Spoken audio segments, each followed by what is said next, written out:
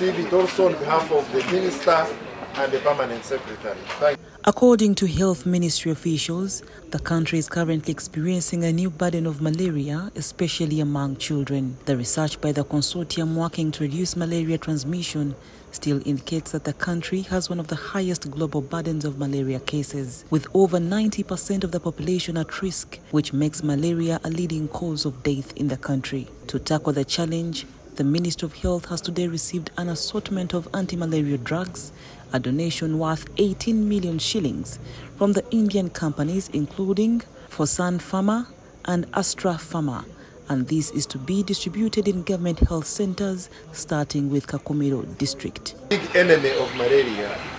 We need all hands. We need everybody to get involved. And that's why we appreciate the effort of our partners. Today we are beginning working with the district teams and all the partners to make sure that we go to the community level, we go to the households and work with our people, sensitize them on the problem of malaria and engage them in the response. Dr. Patrick Tumusime, the Commission of the National Disease Control in the Ministry of Health, urged people to sleep under treated mosquito nets. He noted that the country loses over 400 people monthly due to malaria. Well, uh, all know malaria uh, is a big burden in our country and we are working with all the stakeholders to make sure that we address the problem.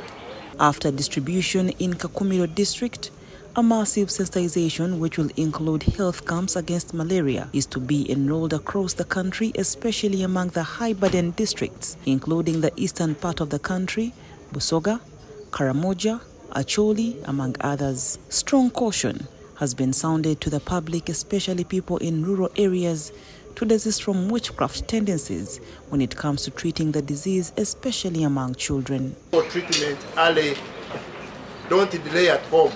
Children get severe anemia, blood gets finished, and our people think it is the ghosts which are drinking blood. No, malaria parasites destroy blood cells, and children and even adults get anemia. If you don't come, you will die at home. The average economic loss in Uganda due to malaria annually is estimated to be over 500 million US dollars. Government's target currently is to eliminate malaria out of the country by 2030. Report compiled by Jaliet Namwaya for the news.